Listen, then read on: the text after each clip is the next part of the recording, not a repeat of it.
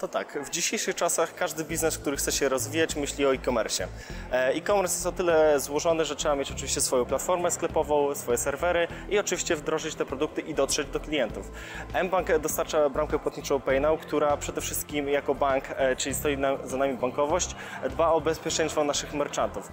Sprawdza ka każdy, każdy sklep internetowy, który może faktycznie sprzedawać produkty, weryfikuje go i e, dzięki temu może klient czuć się zaopiekowany widząc PayNow na stronie, ponieważ wie, że ten merchant został zweryfikowany.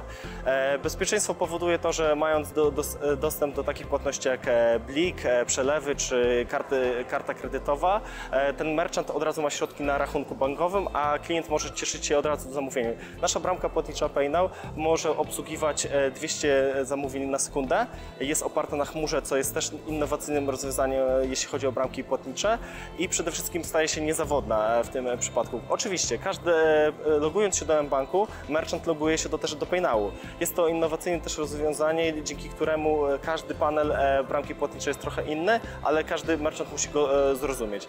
Myślimy, że bezpieczeństwo, które bank przede wszystkim stosuje w bramce płatniczej jest na tyle wygodne, że każdy klient robiący zakupy w internecie może czuć się zaopiekowany i w razie jakichś potrzeb może też z nami się skontaktować i uzyskać odpowiedź na brakujące, brakujące pytania.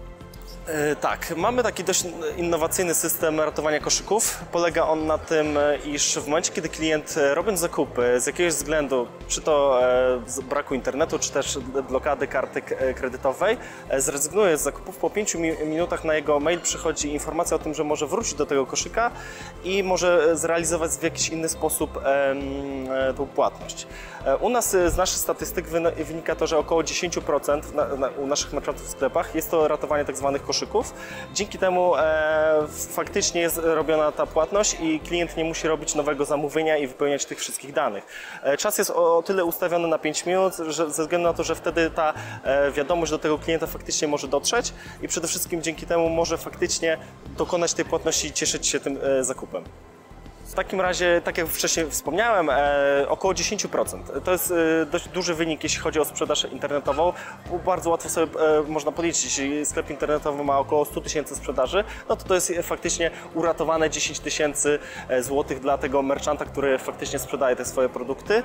E, I przede wszystkim e, ten klient e, może się cieszyć e, zakupionym e, produktem, a merchant może się oczywiście tymi uratowanymi środkami cieszyć i od razu obracać nimi na rachunku bankowym mBanku.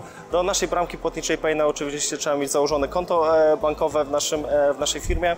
Jednak e, na dzień dzisiejszy jest to o tyle uproszczone, że bardzo szybko można to nawet przez internet zrobić.